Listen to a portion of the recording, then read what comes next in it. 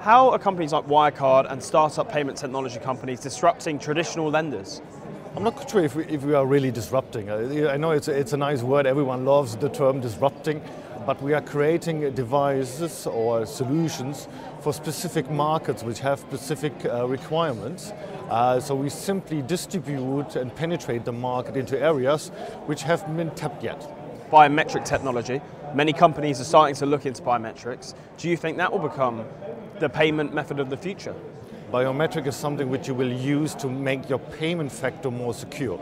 Um, and I believe biometric is something which we can leverage to simply uh, achieve something which is a better usability.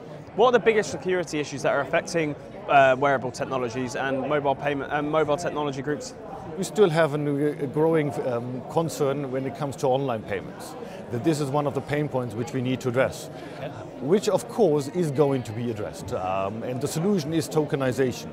Um, so instead of using static payment credentials, which are attackable of course, uh, we will have much more dynamic uh, payment tokens which we will leverage um, and thereby increasing the uh, security and but also at the same time uh, lessen the burden for smaller merchants.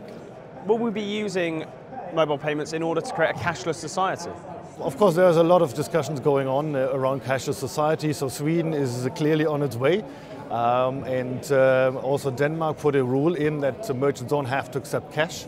Um, so they're on the way. I believe cash is something which will still exist. It will not completely disappear, not in Sweden, not in Denmark, probably not in any country within the next 30 years. Um, but I believe that the electronic payment can create an overall value for the society um, and also reduce certain negative aspects around cash. And by the way, cash costs a lot of money. No one knows it because in the end it's the federal government paying for the cash distribution.